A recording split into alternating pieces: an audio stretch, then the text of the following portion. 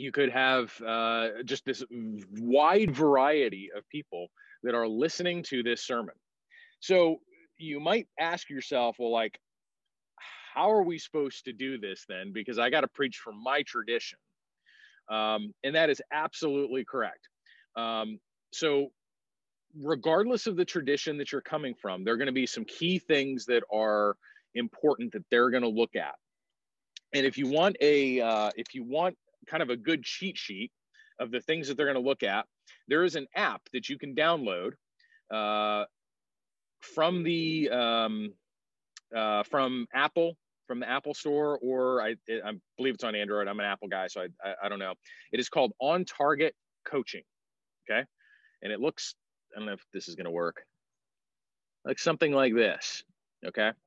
Um, this was developed by TRADOC uh, through the Army specifically for uh, evaluating chaplains preaching. So the idea is that a senior chaplain can take this app and go into a sermon that is being preached by one of their uh, battalion chaplains, and they can sit and they can review it, right? And so there's there's four points that they're looking at for on here, and I'll, I'll tell you what they are because it's probably hard to see. It's point, purpose, delivery, and presence, right? And those are four points that they're looking for. So if you click on point, um, what it'll ask you is central idea, concise, repeated, memorable. So those are the things that they're looking for. Is there a central idea? So, um, you know, there's different schools of thought with preaching, uh, but what has become more prominent these days is that there should be some one central idea that everything links back to that is repeated multiple times because we we don't have that ability to retain you know 10 points of a sermon you know what's that central idea? Was it concise right? Is it you know um, did they repeat it? And was it memorable? And so they can go through and they can check off and did they meet these things right? Next you go over to purpose okay? Was it relevant? Was it applicable? Was it clear contextual? You look at delivery. Was there eye contact gestures movement tone volume speed pauses uh, and presence, uh, sincerity, empathy, conviction, posture, enthusiasm, uh, and connection. So, what I would recommend that you do is you download this app, right? And kind of look through it. And as you're practicing your sermons, uh, as you're developing your sermons, once you uh, go through and see, am I hitting these things? Okay. Do I have a clear purpose? Is it repeatable? Is this memorable? Uh, do I need to adjust so that this is um, something that, that is going to stick with people? All right, so um, get that app. It's going to be really helpful for you. If you've got a chance to preach on a regular basis, maybe what you can do is uh, give this app to somebody, maybe your elders, your deacons, whatever your kind of leadership is, maybe that senior pastor, and say, "Here, do this for me." Right? Sit and and and click this and give me feedback. There's opportunities for them to write down um, and I, I, think this will actually print out a, uh, a review for you. But this is how the Army has developed uh, a way to encourage um, encourage preachers to do better and to get better. All right, so let's talk about the actual sermon itself. Um, again, people are coming from these different backgrounds. Um, as they're listening, but they're going to be listening for some key things. Um, uh, you know, everybody that is uh, on this chat is um, seminary trained, right? Um, you, some of you are at the beginning of the seminary, some of you guys are at, the end, some of you completed, uh, but everybody is seminary trained in some way. Um, I have seen preachers, and I've seen it in the army, um, where people are just reading a commentary. They, they're, they're, that's really all they're doing is they're reading a and you have to you have to wonder like why are you doing it that way? Why are you using these types of words? Now i'm i'm not one that thinks that we need to dumb down everything for uh, for our congregations. Hopefully we want our congregations to be learning and growing. Um, but sometimes um, we have to ask ourselves well why did i use that word? Why did i use the $10 word instead of the $2 word? Um, and sometimes that's because I want people to think I'm smart. Um, I want to impress people with my knowledge, right? So, uh, like everything that we do in the Army in general, uh, we need to come at this with kind of a it's a two-sided coin. It's confidence and humility. We absolutely have to have both in everything that we do in the Army, uh, and especially when we come to preaching. Confidence is balanced by humility. Confidence taken too far is arrogance. Humility taken too far is weakness. And we can't really afford to have either of those. We have to have uh, we have to have them in in balance. So that that was a really good point. Okay, any, anybody else? What are their thoughts of what is preaching? Can I make another point? I'm sorry. Sure, sure. No, go ahead. Uh, um, another point is, is if we do use the big words, well, then we use the definition of those words so people can understand what they mean. And I didn't tell my background. My background is non-denominational Christian. Okay, great. Thank you. Yes, and if you're going to use if you're going to use a big word, you absolutely have to explain what it is. Um, there, you know, even in the Army chaplaincy, uh, you you go to chapels. There are retirees who go to the chapel um, who i mean they retired sometimes 30 40 years ago but they go to the chapel because that's the only church they've ever known. And so you have uh, pretty significant um, retiree populations in, in, in a lot of the chapels.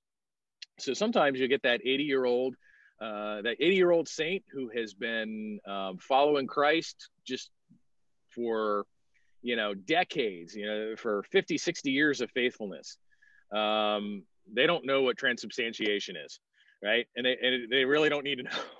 Uh, and if we spend a lot of time explaining that to them, it, we're going to lose them, you know? Um, all right. Um, a couple things that, that are, are really important with this. Everybody has different views on, on preaching. Again, some see it as a um, exhortation, some see it as teaching, some see it as a means of grace. Um, the, the common things that are going to um, that are, that are going to be looked for here are uh, how you handle the word, right? So now, again, as I said, you're going to have this panel, and they could all be from different denominational backgrounds. And let's say you're talking about uh, a, passage in Scripture, and you have a different theological approach than they have on it. That's okay, because they understand that you're preaching from your theological perspective. So, but there's a difference in uh, how we handle that text um, that, that, can be can be very important. All right, so let me give you a couple examples of this. So, uh, let's say you're going to give a sermon on um, the life of Daniel, right? And you're particularly we're going to talk about Daniel in the lion's den. Now, some people will take Daniel in the lion's den as um, the the the main theme or important piece here is dare to be a Daniel. Daniel had uh, uh, all of these pressures on uh, on him, and he he stood up and he dared to be. You know, you need to dare to be a Daniel. Um, that's that's that's an interpretation. That's a, that's a theological interpretation that can come from your background. Now, some of us may agree with that, some of us may not. Others may take Daniel in the lion's den as an example of uh, God's sustaining grace, that God uh, that, that Daniel is not the hero of this story, that God is the hero of this story. That's a theological interpretation, and that's that's acceptable. Um, you know, uh, and depending on your background, you may be kind of lean towards one or the other one. So either take that you take on that is going to be acceptable when they're evaluating your sermon. Now, what is not acceptable is when you if you get up and you say um, Nebuchadnezzar threw when well, when Daniel was a young man, Nebuchadnezzar threw him into the lion's den. Okay. Who can tell me what the problem is with that? Besides our guy that teaches seminary is with the PhD. Anybody other than Bill? Tell me what the problem is with what I just said. When Daniel was a young man, Nebuchadnezzar threw him into the lion's den.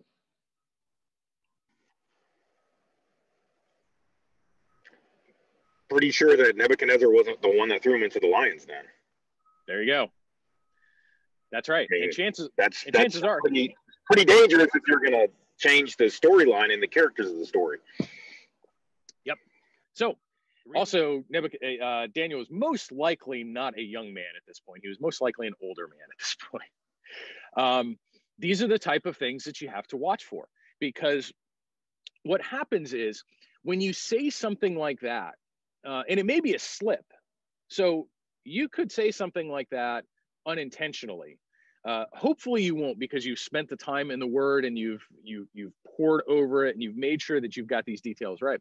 But some people will hear that and immediately shut off, and they're like, uh, "Okay, this I, this person, I, I can't trust what this person says," right? Um, so that's one of those things that um, that people will sometimes pick up on, um, and that we have to be kind of careful about. So when you're preparing these sermons, uh, I, I, think Mindy said it, said really w- well here. You have to know the passage backwards and forwards, and you have to make sure that you're saying only saying what is actually in the passage. Right? Theological interpretation is good.